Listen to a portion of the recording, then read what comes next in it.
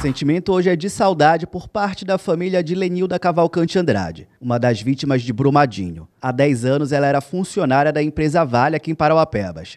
Em 2016 foi transferida para Brumadinho. Familiares estavam reunidos vestindo a camisa com a foto de Lenilda e com a frase: Aqueles que amamos nunca morrem, apenas partem de nós. Seu Manuel Almeida, pai de Lenilda, lembra bem do dia 25 de janeiro de 2019 ele estava trabalhando quando recebeu a ligação da esposa informando sobre a tragédia em Brumadinho. Eu estava operando o guindaste, né, no horário de... Aqui era, era meio-dia e meio, né, aqui, agora lá era diferente. Quando eu recebi a ligação da minha esposa, né, que tinha, a barragem tinha estourado. Então, eu continuei trabalhando porque era uma tarefa que tinha que ser feita até uma hora da tarde. Aí, quando terminei, eu fui para o refeitório. A minha esposa liga novamente. Bem, a barra de Brumadinho estourou e nossa filha não tem contato. Seu Manuel estava trabalhando em um dos projetos da empresa Vale, S11D. No local, ele buscou mais informações. Era por volta de duas horas da tarde, eu fui direto no escritório. Quando eu cheguei lá, eu fui na mesa da engenheira de segurança da empresa Milplan.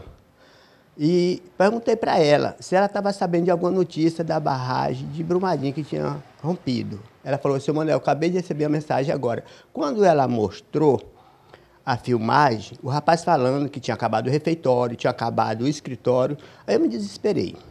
Entrei em desespero, chorando, já não voltei mais ao trabalho. No dia 25 de janeiro, ele chegou a conversar com a filha através de uma mensagem de aplicativo. Esse foi o último contato com Lenilda. Seis horas da manhã, ela mandou dizer: Pai, estou indo para o serviço. Essa foi a mensagem que nós tivemos de um para o outro. Após a tragédia, seu Manuel foi com a esposa para Brumadinho acompanhar os trabalhos de resgate. Foram nove dias até o Corpo de Bombeiros localizar o corpo de Lenilda, em meio a lama e os rejeitos. É um desespero, certo? Eu, até hoje, eu te falo a verdade. Eu visto essa camisa aqui porque a gente tem que fazer uma homenagem, mas não me sinto bem. O que eu queria era minha filha. Dona Maria Ivone, mãe de Lenilda, lembra que a filha amava o trabalho e vestia literalmente a camisa da empresa. Hoje a família se sente traída por parte da Vale devido à falta necessária de assistência.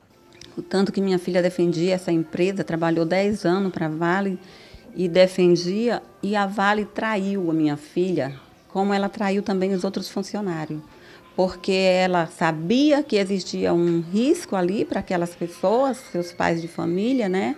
Jovens, que foram muitos jovens que morreram também, e ela deixou acontecer.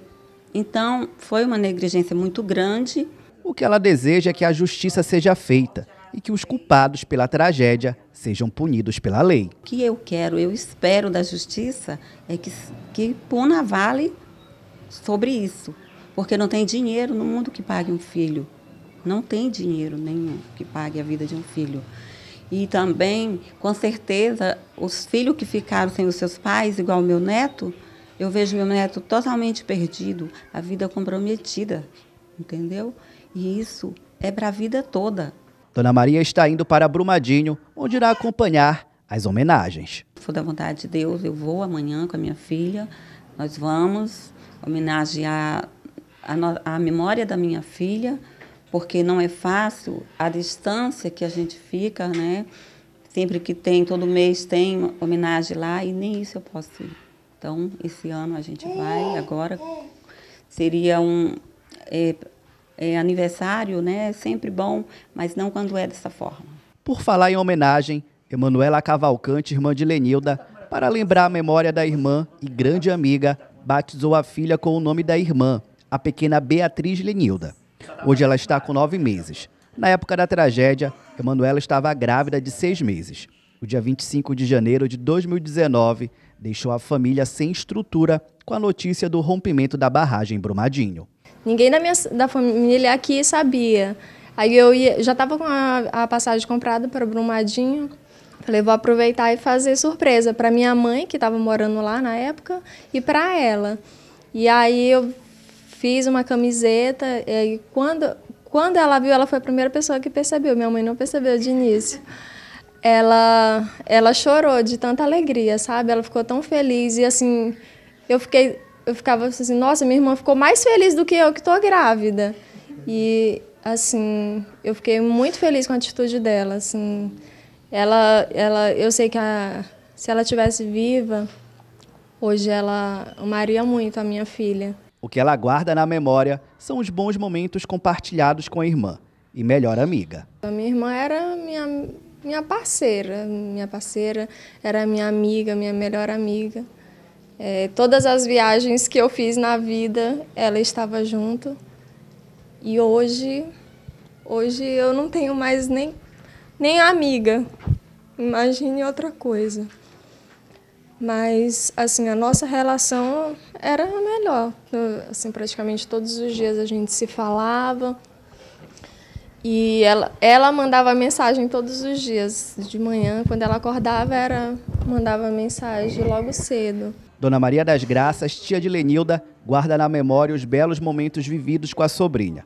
Ela lembra como foi o último contato. A Lenilda, além de uma, de uma sobrinha, era uma amiga, mais do que uma sobrinha. Amiga que a gente compartilhava todos os problemas junto, tudo junto. Que tinha vez que eu dizia assim, minha filha, tu nem parece minha sobrinha. A gente falava muito tudo o que acontecia. E a Lenilda, além de ser uma boa sobrinha, Lenilda era uma filha que qualquer pai gostaria de ter. Todo dia de manhã da Lenilda e e trabalhar, acho que ela mandava mensagem para todo mundo. E nesse dia ela me mandou uma mensagem dizendo para mim, tia, hoje eu acordei sentindo os cuidados de Deus na minha vida e na tua vida. Aí eu falei para ela, filha, eu tenho certeza que hoje é um dos melhores dias das nossas vidas. Ela só colocou um coraçãozinho. E aí eu fui trabalhar. Assim como toda a família, ela espera por justiça. O pessoal está se reunindo, o pessoal está gritando, o pessoal está dizendo eu quero justiça, eu quero justiça. Então, Minas, Brumadinho, também é para o Apebas. Aqui está a nossa família, que chora todo dia a perda de Lenilda. Para a gente não é fácil, não. No dia 25 de janeiro de 2019, a barragem 1 da mina do Feijão, em Minas Gerais, se rompeu. Um mar de lama e rejeitos devastou a cidade. A tragédia deixou 270 vítimas, entre mortos e desaparecidos. 11 pessoas até o momento ainda não foram localizadas. A família de Lenilda Cavalcante Andrade expressa o sentimento de outras tantas famílias que também perderam seus entes queridos. Um único pedido. Queremos justiça!